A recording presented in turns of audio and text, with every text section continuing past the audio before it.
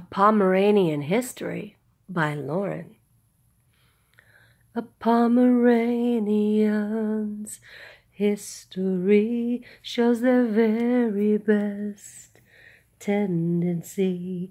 It's their endless love and loyalty.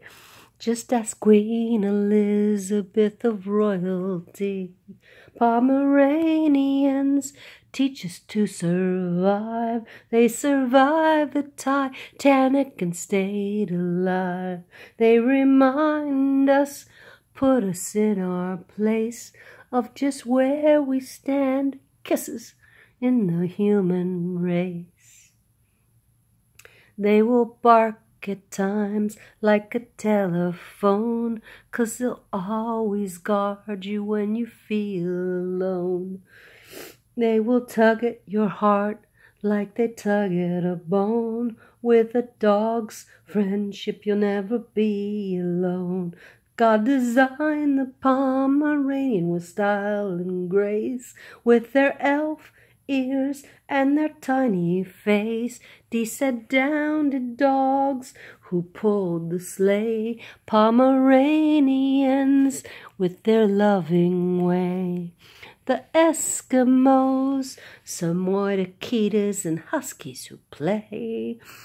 The Pomeranian would make their day. The Pomeranian is these dogs in miniature. They prance and dance like a caricature, and their curly tails they go over their back. Oh, God's wisdom it did not lack, so the icicles wouldn't freeze when they slept in their pack, waiting for their alpha to come back. A Pomeranian has a furry pelt. Just ask Teddy Roosevelt.